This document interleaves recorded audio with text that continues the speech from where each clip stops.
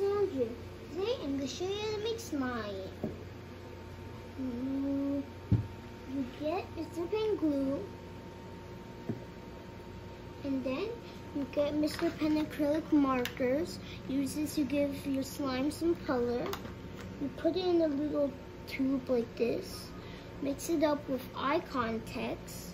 And also put baking soda and get a wee wee pad. If you have a dog, get a wee wee pad, or you don't have one, just buy some so it doesn't get dirty anything.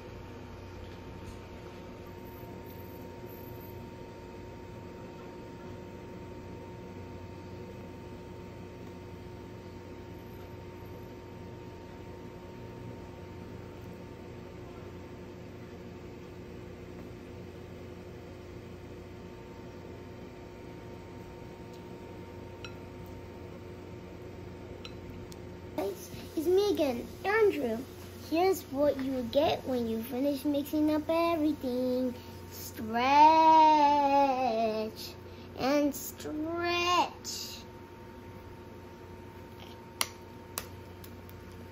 Also, get a Ziploc bag, put your name, and put Mr. Pen mustache sticker, and use the permanent marker to write your name.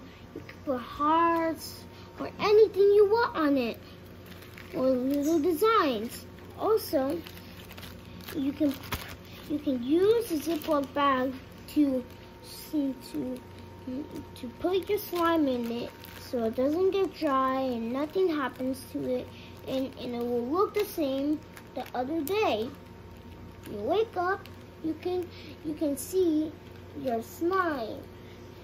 You can do this one or any color. Thanks for watching. Bye.